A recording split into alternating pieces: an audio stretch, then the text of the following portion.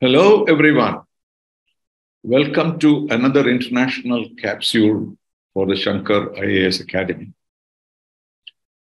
Today, we'll talk about the agitation in China and Iran.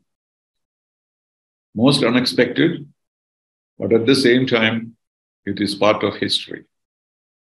It is not unusual for dictators to fall or ideologies to be abandoned at the most unexpected times. It is normally happens when the most powerful people are found guilty of various things imagined and real. So in China, it's a matter of days after Xi Jinping had declared himself president for life. He had made a visit to Bali, where the leaders of the G20 were vying with each other to meet him. He dealt with him with them like an emperor.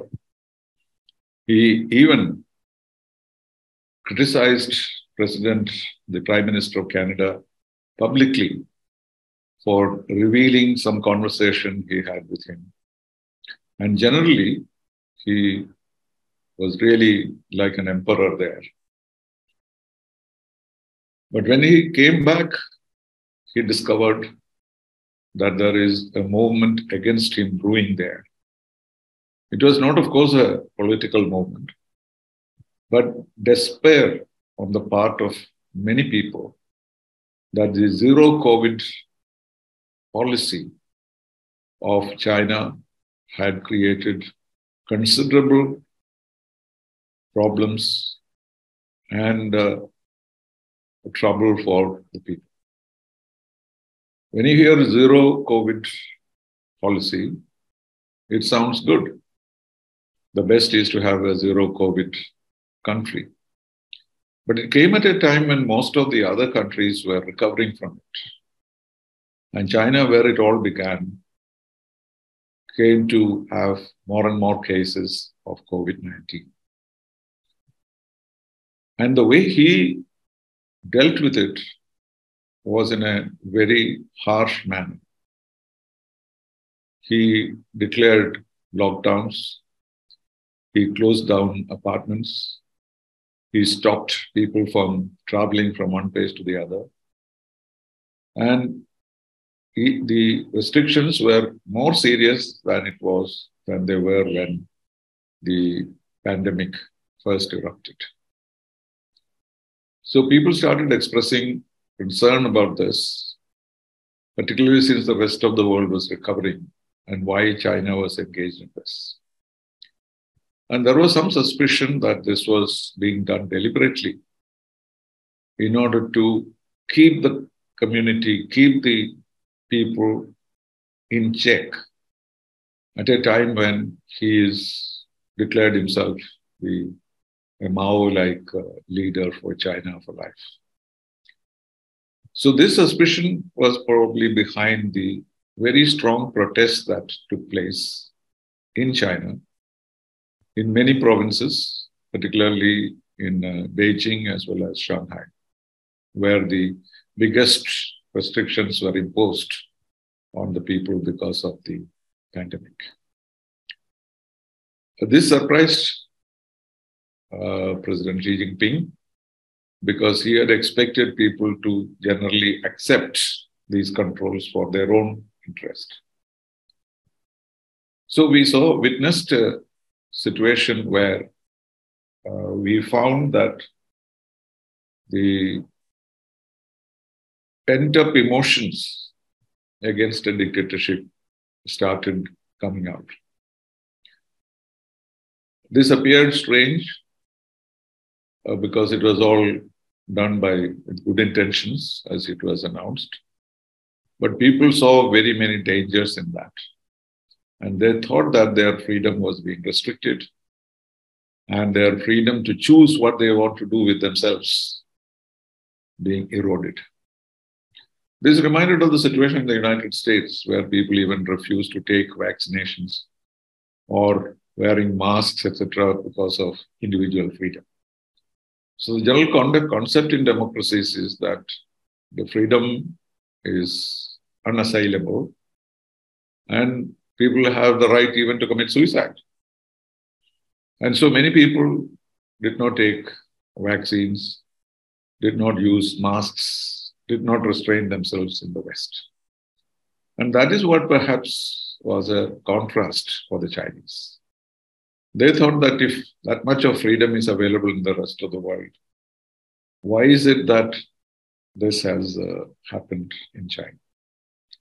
So, what started off as a, as a spark against this became so widespread that it looked as though the whole situation was being challenged and Xi Jinping's own authority was being questioned.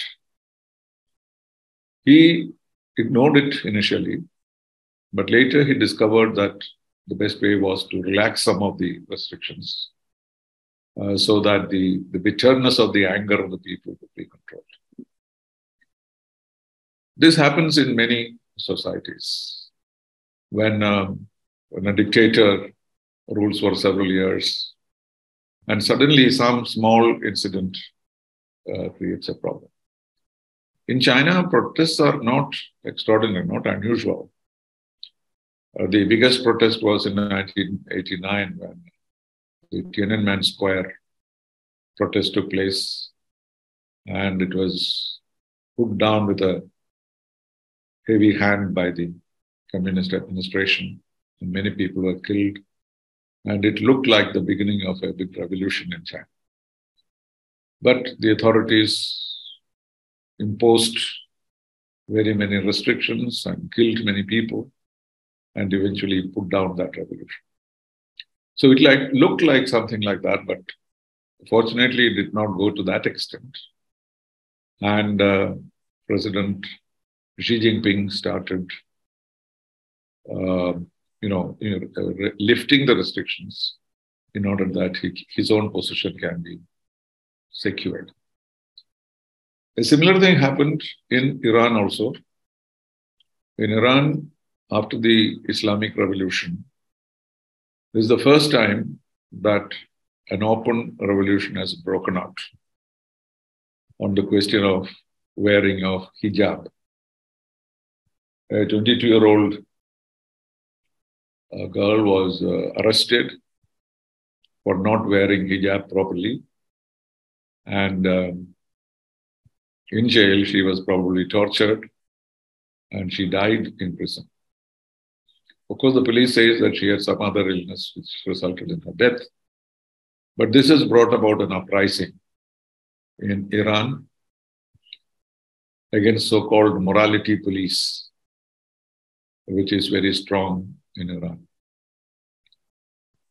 And there, they have not relented on the question of hijab, and they are really trying to control the mobs and to restrain them from any kind of activity. So both these have the same kind of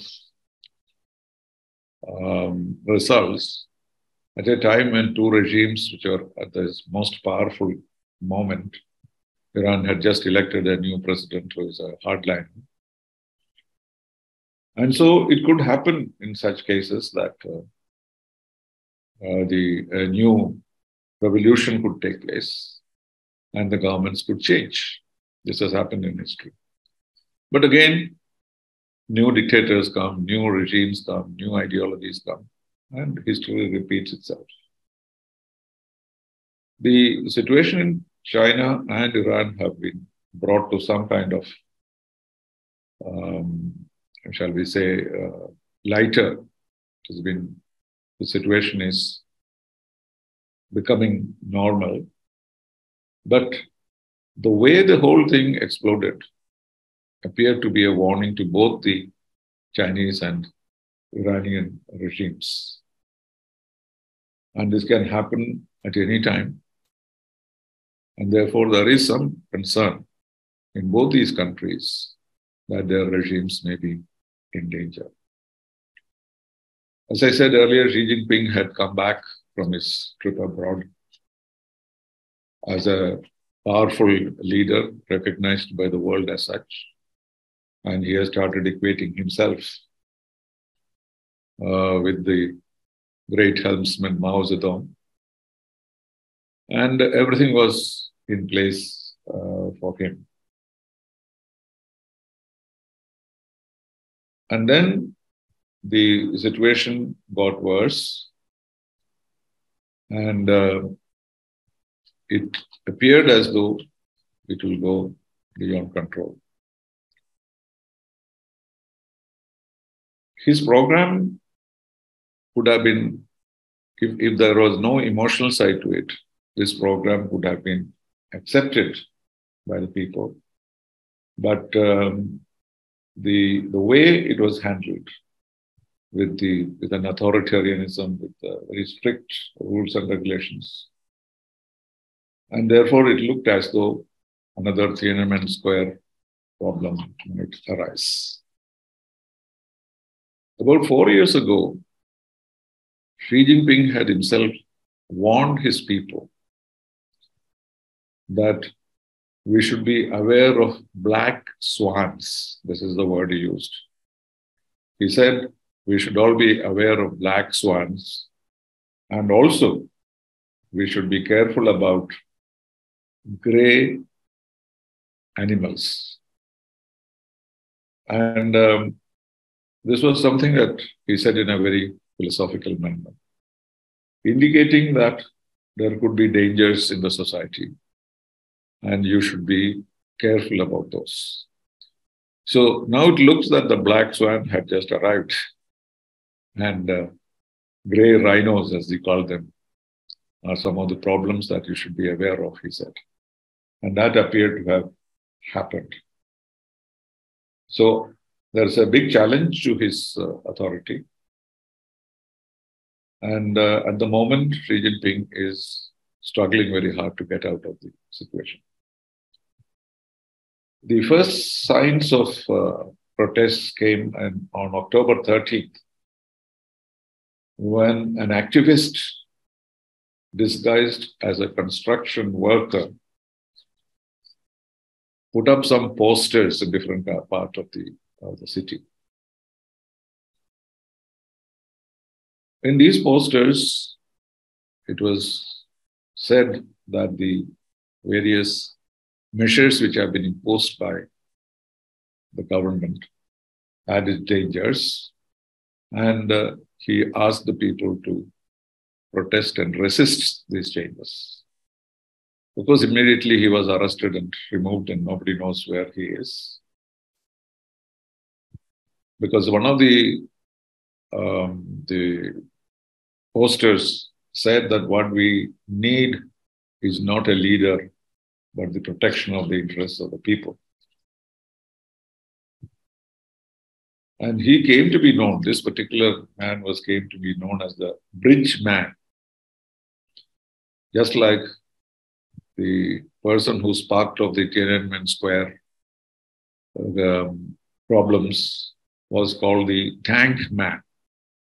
So the one who started the spark, spark in Tiananmen Square in 1989 was called the tank man. And so this man who put up these posters on the bridges was called the bridge man. So immediately this spread like wildfire in the country and uh, spread to various protests. And uh, as it normally happens, it went to educational institutions, universities, etc.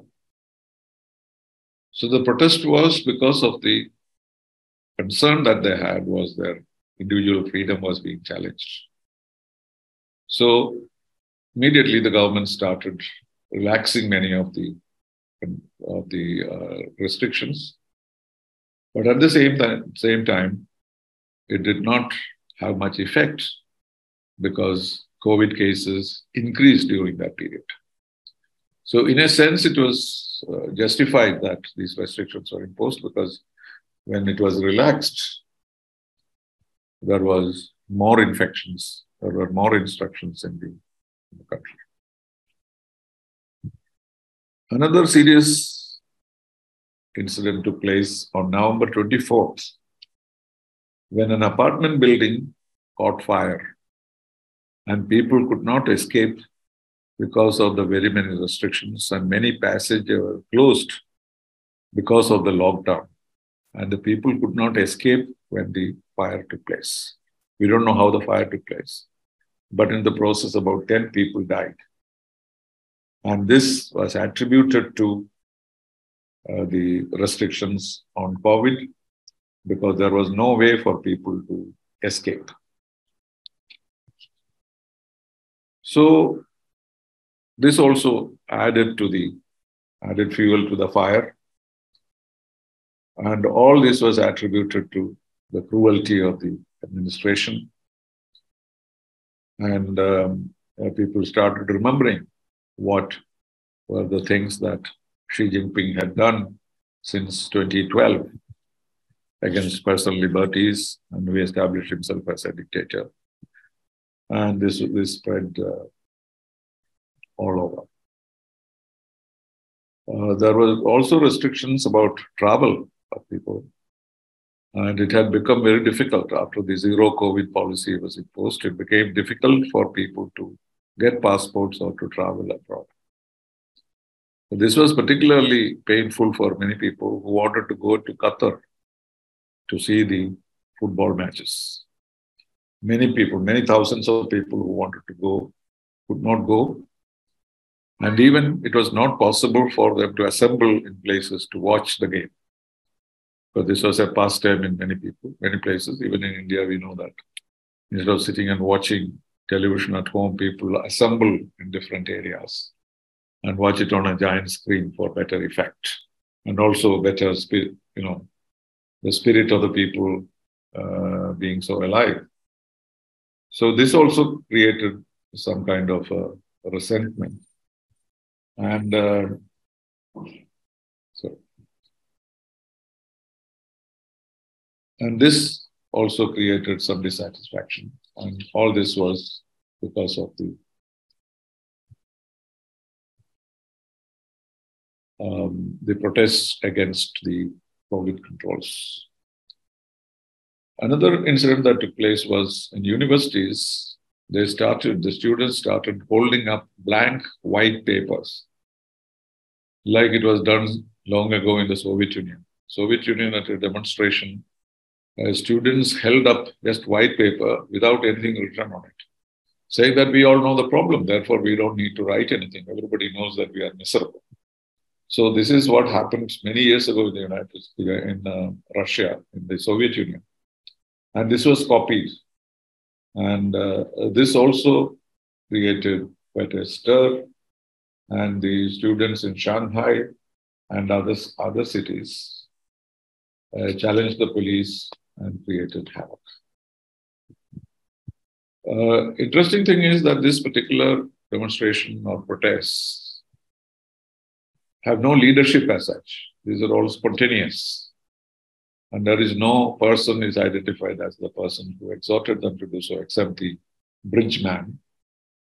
So this was even more surprising that uh, without any directive, or even uh, the internet not being very effective, the anger of the people increased and uh, people started moving around and protesting against the government. These are all the things that actually happened. But the analysts, you know, China watchers all around the world are watching as to how this will end, whether it will end or whether it would eventually it will lead to the fall of Xi Jinping himself. Uh, but so far, the indications are that the, what the, government has done in terms of relaxing these uh, uh, measures. And uh, since Xi Jinping had placed all his favorite people in the right places everywhere, he was able to control this effectively. So it may not become a revolutionary move, and this will be brought under control at least for the time being. But the prediction that Xi Jinping had made that black swans and uh, gray rhinos might arise and we should be careful of them actually happened. And uh, it gave him an opportunity to control it and also take measures. And therefore, it's quite possible that he will continue and the problem will be resolved. Uh, this is not as serious as what happened in Tiananmen Square. And the army did not use much force, and they basically controlled the crowds and did not shoot at them or anything of that kind. So we can take it that the, the situation will be under control very soon, even though anything unexpected can create more difficulties. The protests in Iran are, have, also been very serious. On September 16th, someone called Mahsa Amini, a 22 year old girl, died in police custody after she was arrested for wearing hijab in the wrong way, not properly, and also appearing in uh, revealing jeans in public places. So when this girl died in jail, there was protest and there was suggestion that she must have been killed. But the authorities have said that no, she had uh, some illness of some kind. But protests grew against this. Young people, particularly women, you know, went out on the streets all over the country. And uh, this was the first time after the Islamic Revolution of 1979 that such an organized protest was uh, protest took place. Uh, although they were very peaceful, the police very were harsh with them. And uh, in schools and universities and even oil establishments, very serious protest marches took place.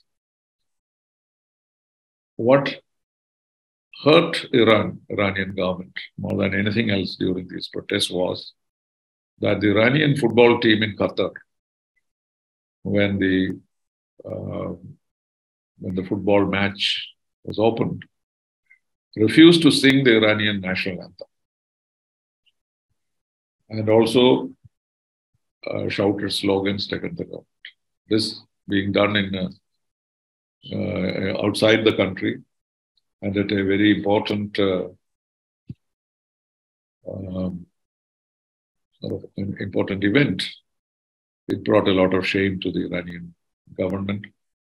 And in the protests, something like, according to Western sources, about 420 people were killed and about 20 policemen also lost their lives. Uh, in Europe also, they spread wherever Iranian, Iranian people of Iranian origin were present. And uh, there was even accusation that this whole movement has been generated by the United States and uh, Israel. There have been uh, difference of opinion about making hijab compulsory. It happened in 1983. At that time itself, there were various uh, protests, protest marches. Then the new government, which came in place in 2021, Ibrahim Raisi, the present president, actually imposed more controls on proper clothing uh, for women. And that is what erupted when this girl died. Another reason, of course, is the financial difficulties into which Iran has fallen because of the sanctions against Iran. How President uh, Trump left the arms deal which was signed between Europe and Iran and imposed sanctions against them. As a result, the economy has become worse and worse. Iran has been trying to sign a new, new nuclear deal. This is being discussed in Vienna, but there has been not been much progress. And therefore, the new government has not been able to find a meeting ground with the Europeans and the Americans. It is expected that if such an agreement is reached and finalized, sanctions will be lifted and uh, things might get, a, get better. Again, like in China, there is really no threat to the Islamic government at this point. Because last time the regime changed because the army changed its policy. The army turned against the government. That is why the Islamic Revolution won in 1979. But this time, army is with the government and the uh, new new president, and therefore there is really no danger of the government itself falling, as the army has indicated their support uh, for the government. There were reports that the moral police was being abandoned or abolished. So there was much uh, jubilation among the people that this was done, but the Iranian government has not yet confirmed that. Maybe it was just a rumor, but people say that the morality police is not seen on the streets in the last few days. So that may be uh, a concession that they are making in order to bring the situation under control. So there is uncertainty. The protest had not ended. There has been no relaxation on the uh, rules relating to uh, women, women's clothing. Uh, but um, anything, it could happen and may become a, a flare up may be possible. But anyway, in both these cases, China and Iran, are there as though there uh, is, although there is, although there is some similarity, or the suddenness of the protest and the seriousness of the allegation, all amounting to expression of freedom, which both Chinese government and the Iranian government do not recognize. So individual freedom and liberty are in question. And at the moment, these movements do not have the kind of strength to become revolutions. And the governments, both in China and Iran, have been able to suppress them. Uh, but the, the message is clear. The writing on the wall, as they say, is clear that both these regimes may come under pressure for even small things because what they are doing to the people is to suppress their freedom. And, uh, and objection to that might come about because of some small incidents, what Xi Jinping called the black swans and the gray rhinos. So they are already visible, they have been suppressed, but it's possible that such dangers may come again. And that's a warning for both the Chinese government as well as the Iranian administration. Thank you.